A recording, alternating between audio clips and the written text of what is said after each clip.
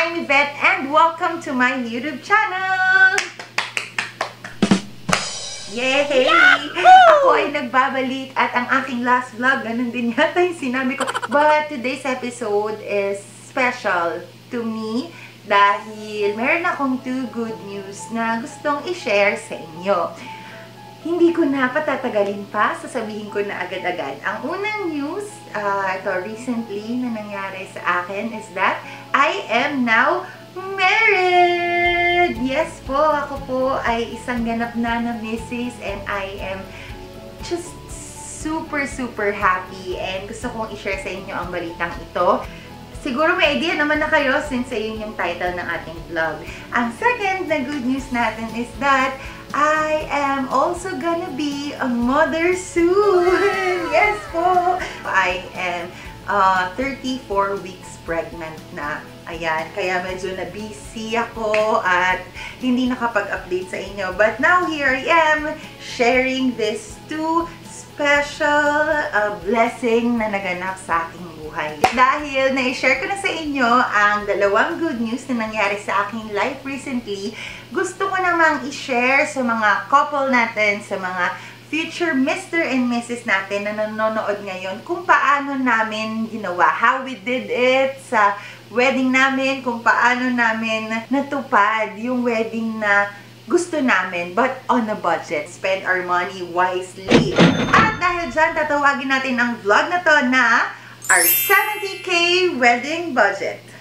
Ito mga i-share ko sa inyo is somewhat estimated, di siya eksaktong 70,000. Pero kaya pa itong i-adjust ng mas mababa. Anyway, before I start, eh, kung meron kayong tanong, or if you're looking for a specific detail regarding dun sa i-discuss natin, you can always comment down below and we'll, I can do another uh, vlog or a separate vlog for that.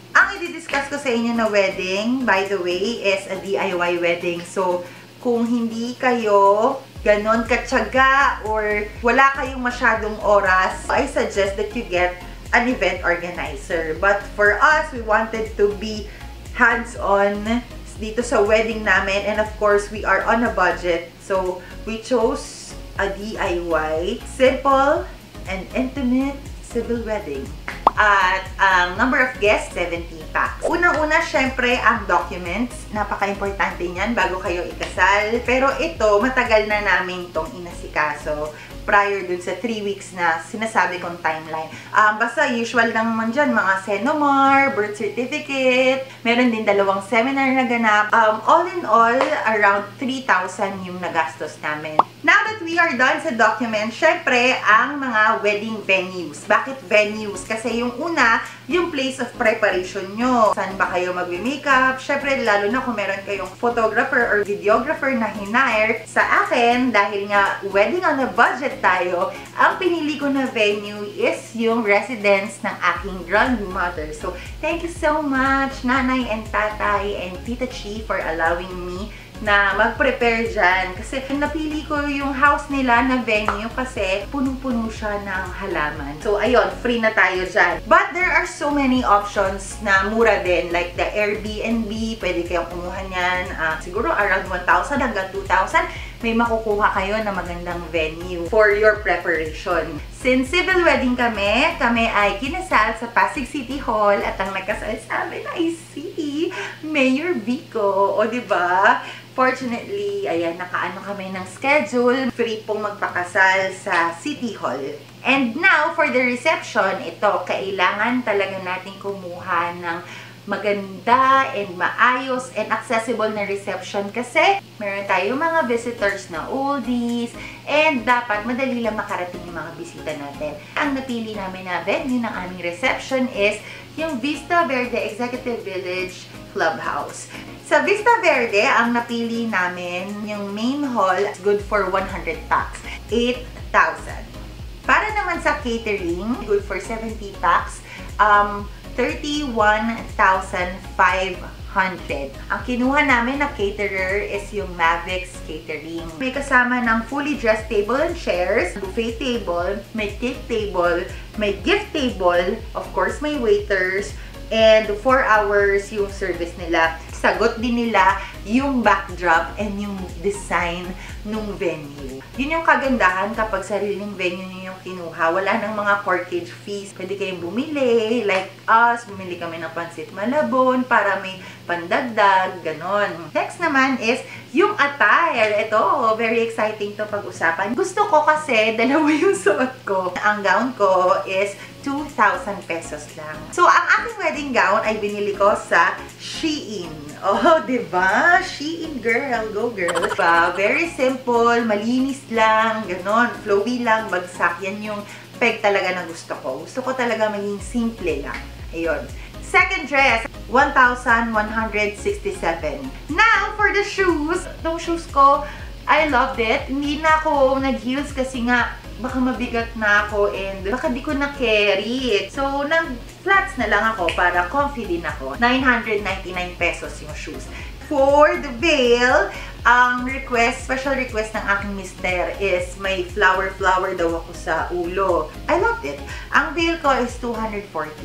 For the accessories naman, I chose a rhinestone kasi um, murang-mura lang to, 102 pesos. And for the hair and makeup naman, since um, kakilala si Mami AL, binigyan niya ako ng napakalaking discount. So, thank you so much to AL, the Lawson. Maraming maraming salamat. And super simple lang din naman yung peg na pinagawa ko kay Mama. 3,000 pesos. So, thank you so much, Mama AL. Lahat-lahat ang nagastos ko para sa aking attire, kasama na ang hair and makeup, is 6,477. Not bad. Okay pa rin siya. Mas mura pa rin siya sa presyo ng isang gown.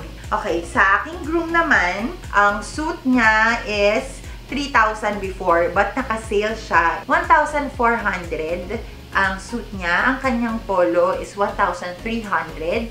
Ang kanyang pants is 1,900.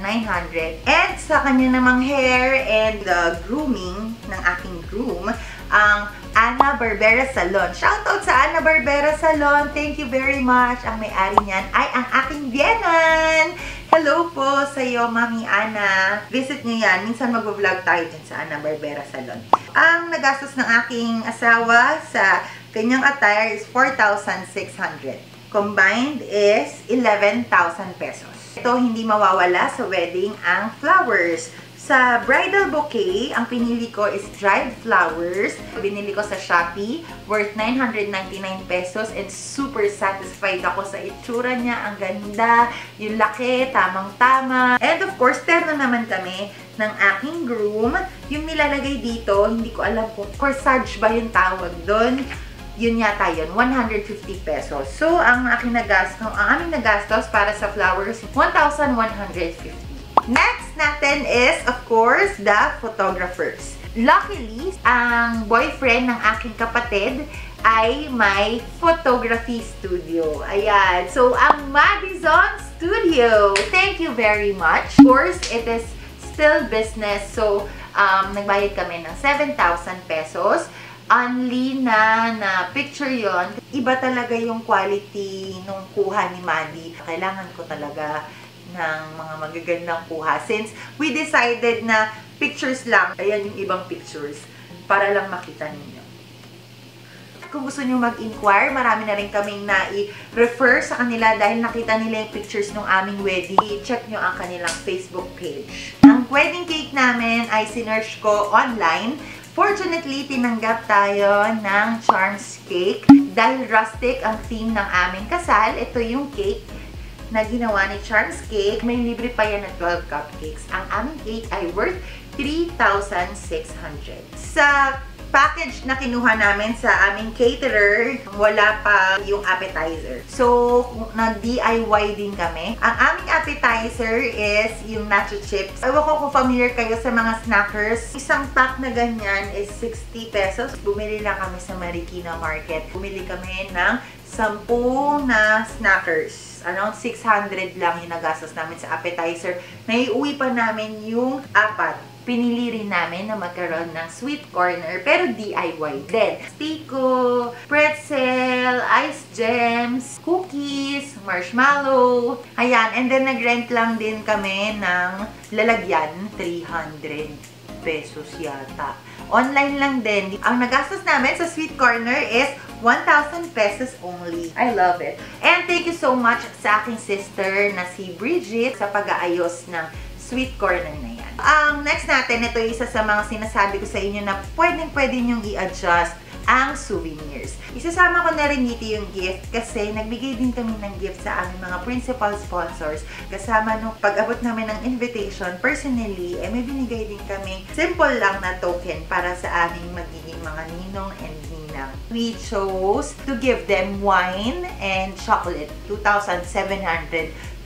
So, souvenirs ng bisita, meron kaming dalawang souvenir na pinili itong pencil and yung may kasamang pot kasi yung pencil na natatanim yung dulo niya just 20 pesos. Ito naman for another souvenir yung honey namin na 100 ml. Ito very exciting to para pumapatak na 46 pesos lang ang isa. Nagagandaan talaga ako. Yung pag-sterilize nung, mga jars, pati yung pagsalin ng honey, yung pag-seal nung lahat, and then yung design kami-kami lahat na. So maraming maraming salamat sa mga tumulong sa amin, sa aming relatives, sa side ko and sa side din ng aking mister. Maraming maraming salamat. Ang ganda talaga niya. Ang budget namin sa bawat isang bisita is 66 pesos sa souvenir times 80 kasi sinobrahan namin 5,280 ang nagastos namin dyan. And para naman sa dagdag, kasi iba yung nakabox yung sa principal sponsors namin, nagdagdag kami ng tea and ng egg mug. So, ang egg mug namin, 14 na piraso yun kasi may pasobra kami is 1,650 plus yung tea namin is 300 pesos. Um, to top it all, 10,000 pesos. DIY, pero ang dami na namin napamigay nyo. And meron pa kami sobra. Next naman, of course, is yung mga stationery. Shout out kay Justin Badiles, uh, Mad King Arts. I-follow nyo sila. Meron silang shop sa Shopee. Thank you so much for accommodating me and for the discount. Maraming maraming salamat. Um, ayan, for the invitation and for the tags nung honey, lahat-lahat ang nagastos namin is 660 pesos plus um, ito sa ibang supplier naman kami kumuha. Yung sticker naman sa jar, 200 pesos. So, lahat-lahat, 860 pesos may mga tao talaga na magiging blessing sa inyo. And we're very grateful sa mga taong iyon. And ito sila. Doon sa venue na nirent namin, hindi pa kasama yung sound system. Kasi ang tito ng aking asawa is a DJ. So free na ang aming sound system kasama ang mga speakers and ang aming DJ. Thank you very much, Tito Yosit, for that. And next naman, yung host ng wedding. May tinawagan ako na friend ko. Ayan, nag-host din niya ng wedding si Dom. Baka gusto niyo kunin, magaling yan. Sabi niya, ganito na lang, regalo ko na yan sa wedding mo. Nirecommend niya yung friend niya and then siya na yung ano, guma, nagbigay ng TF, ng host. So, thank you very much, Dom, for that. Thank you, thank you, thank you. Next naman natin is mobile bar. Thank you so much to Justin. Si Justin ay brother ng aking asawa. So, shout out sa iyo. Thank you very much kasi sagot niya ang mobile bar. By the way, ang mobile bar na kinuha namin is yung Luna Vida. Sobrang bait nila as in, very accommodating. 5,500 for 4 hours. And for the additional food na nabanggit ko sa inyo kanina, nag-provide si mommy at daddy ng, mga additional food namin sa kasal. So, thank you so much to mommy and daddy. Kung meron kayong hinahanap na hindi ko pa nababanggit, ang aming wedding ring. Ang aming wedding ring is regalo ni Mami Ana and Daddy Randy. So, maraming maraming salamat. Ila ang parents ng aking mister. So, thank you so much po and alam niyo na po yun. Maraming maraming salamat po. Kung DIY ito, ito ang kailangan ninyo. Ang mga wedding angels. Sila yung mga tumayong usher, usherette, assistant all throughout the wedding. Even the preparation ng wedding and after the wedding. Thank you so much to my angels, Patricia, si Dana, Clara, si Joaquin, si Miko, si Sab, and si Jade. Ayan, maraming maraming salamat. And of course, to my sister, thank you. And ito na, magko-compute na tayo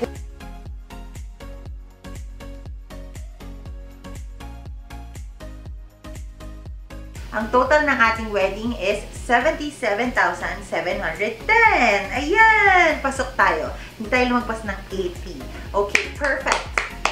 To top it all, ako, super nag-enjoy ako Dahil ang mister ko ay sobrang supportive and sobrang hands-on din sa wedding na ito. Hindi niya ako pinabayaan mag-isa. So, thank you so much sa aking mister. Sa mga next vlog ko, may kita niyo na siya, kasama niyo siya. Gusto namin na involved kami in every aspect sa mangyayari sa wedding namin. Kasi ako talaga yung nagawa ng program flow, even the script of the the host, ako din yung nagawa. Kasi gusto ko, aware ako sa lahat ng mangyayari. And ayun, I'm just very grateful. And of course, di namin yun makakaya ng dalawa lang, kundi dahil sa mga binanggit namin ng tao.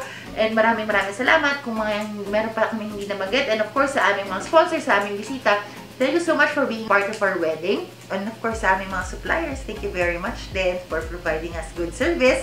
Thank you! Ayun! I'm just so happy right now. I hope that I inspire you sa wedding on a budget. Kung nakarating kayo sa dulo ng video na to, maraming maraming salamat sa inyo. Please share! Bye! Mwah!